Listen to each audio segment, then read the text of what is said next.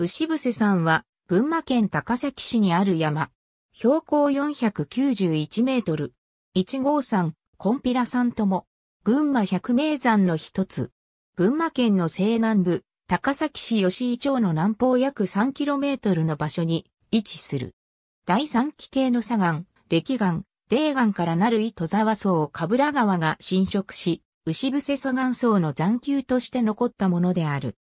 標高は491メートルで、山の形が野にふす牛に似ていることから、牛伏山と呼ばれている。山頂には一号山城跡やコンピラ大権現を祀る琴平神社があり、一号山やコンピラ山とも呼ばれる。万葉集でタゴレイと読まれた山でもある。山頂からの眺望に優れ、高下三山から上越国境の山々、さらには筑波山まで一望できる。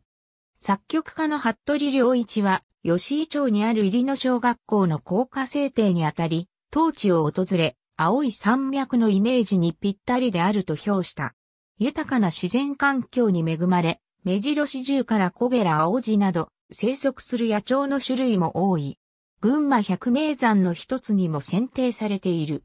牛伏山では1983年から公園化に向けた整備が行われている。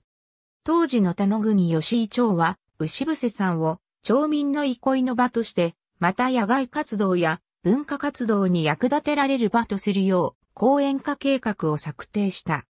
山頂には約1000平方メートルの駐車場や休憩所、展望台、チニフス、牛の石像、青い山脈の可否、洞窟、観音、NHK や FM 群馬の電波塔があり、群馬展覧館が8号目に設けられた。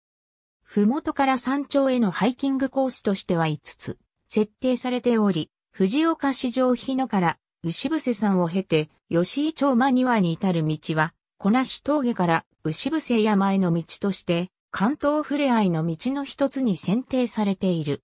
林道脇に連なる桜並木は千本桜と呼ばれ、開花時期には夜間もライトアップされて花見客を楽しませる。6月中旬から7月上旬にかけてはアジサイ約1400株が見頃となる。このほか、ツツジアザミ林道なども見られる。タゴ碑、ユネスコ世界の記憶、上の三碑の一つ。タゴ石は、牛伏山を構成する、石英質の砂岩である。牛伏砂岩ともいい、鉄分を含んでいることから石活色を呈する。木目のような模様があり、素粒にして光沢はないが、硬質で耐久性に富み、建築物の装飾や灯籠などに用いられる。石材としての利用は古く、上の三比の一つに数えられる多合比にも用いられている。ありがとうございます。